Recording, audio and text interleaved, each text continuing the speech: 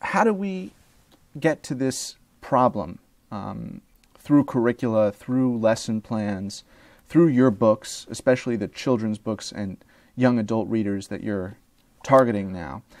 Because it seems to be a cultural shift as we move away from the written word in a physical presence that, that we're having a more difficult time attracting readers. Uh, maturing Well, I, I, I, think one of the things, especially in, I, I, think middle school is vital. That's why I write a lot of books at, toward middle school kids. There's, there's two sides. One, you know, real bright kids, if, if they don't, uh, uh, you, you want them to have a, to have broad reading taste.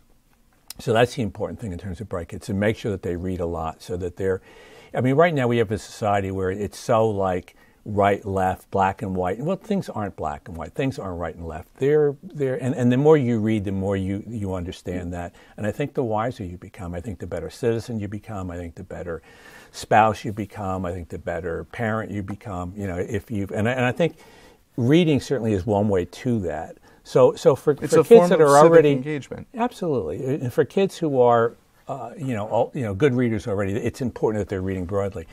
Just as important, or maybe more important, are kids who, if they don't become competent readers in middle school, not great readers, but competent readers, how are they going to get through high school? Seriously, Abraham Lincoln, and it's not that they're stupid; it's they're not good readers. And and you know, look, there are a lot of problems in the world um, healthcare, uh, uh, global warming. As individuals, we can't do much about it, but almost all of us can do something about the reading problem. In start with your house. Are your kids or your grandkids or your nieces and nephews are they competent readers or good readers?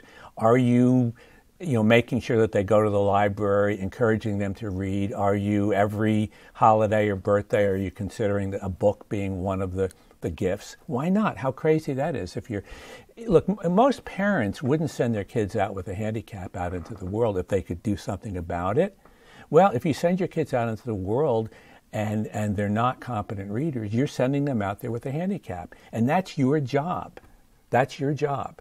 You know, teach your kid how to ride a bike, fine, not a bad thing to do. Teach them how to throw a baseball, okay. Teach them how to cook a little bit, terrific you, you, you must teach them how. You must help them. You must get them books. You must force the issue if you have to. When our son Jack, Jack's a, a bright guy. When he was at, he wasn't a big reader. And that summer, and summer is a great time to do this stuff. And we said, you know, Jack, uh, uh, you're going to read every day.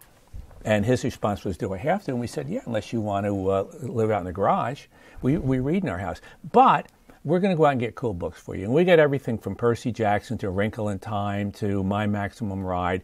And by the end of the summer, he had read a dozen books, and his reading skills improved dramatically. When he took his his uh, SSATs, which you, you do for, he got an 800 in reading, which is a perfect score. So there's what happens when you get a bright kid and you force the issue a little bit in a fun way. The fun way being, yes, you're going to read, but we're going to get you cool books. And they're going to be as good or better than the movies that you might see or the TV shows or whatever. Uh, and, and, and, and with, with kids that, are, that aren't competent, it's absolutely crucial. And you, you know, parents have come up to me all the time, I can't get my kids reading.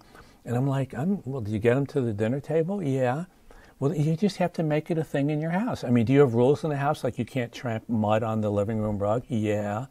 Okay, you have to have a rule. The kids have to read because if they're not reading, they're just going to have trouble in life.